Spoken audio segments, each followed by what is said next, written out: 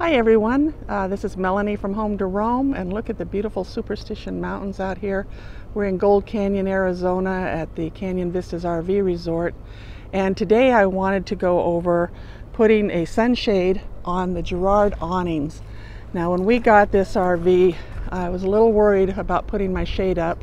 Uh, we'd had it on our previous RV because there's only these two arms for support and I went on Google and found a gentleman who said he'd put a shade on his awning for a couple months and had no issues. So I thought, okay, I'm going to go for it. So what I did was I took our shade from, let me see if you're interested in the name. It is Vista Shade. There it is at novapd.net, I-N-N-O-V-A-P-D.net. And this is a really cool shade because it puts on about four feet of shade and then you can zip on, if you can see the zipper here, another six feet for 10 feet and then you can pull it out and stake it down and make a lot more room. So it's pretty heavy. That's why I was worried about putting it on this Gerard awning. But I took some industrial strength Velcro and I put the flat piece right up here along the edge of the awning and it's stuck just using the adhesive from the Velcro. I put the fuzzy part on the screen and you can see even after gluing it, it's coming apart. But I wound up having to put some extra glue trying to make that stay on the screen. Uh-oh, got somebody heading out.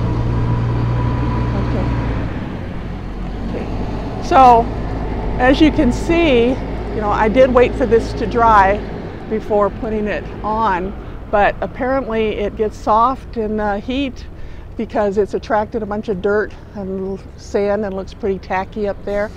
And then also it looks like it came out from underneath here, underneath the Velcro, and got onto my awning. So there's little bumps of glue over here. And so I guess lessons learned is maybe under here, under your Velcro, when you put it on, put on some frog tape or whatever tape they use to paint the RVs with initially. Uh, I don't know if somebody out there has a better idea for glue or for the tape uh, or for putting it up. I would love to hear them because I've already caused the damage on that. Fortunately, it's way up high. You don't notice it when it's turned in. Now, we leave this out. Right now, we have caliche here, so we can't put stakes in, so we just put some big rocks to hold it down. Otherwise, we would use stakes and I've had it out in winds up around 15 miles per hour with no issues.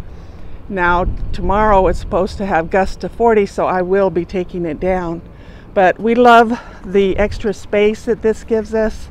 Uh, it's not real dark inside, it just cuts the shade or uh, the sun by, I don't know, 40 50%.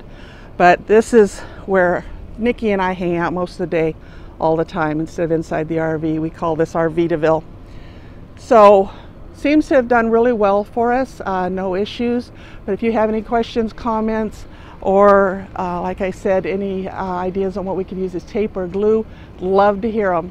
So that's Melanie for Home to Roam signing out. We'll see you on the road.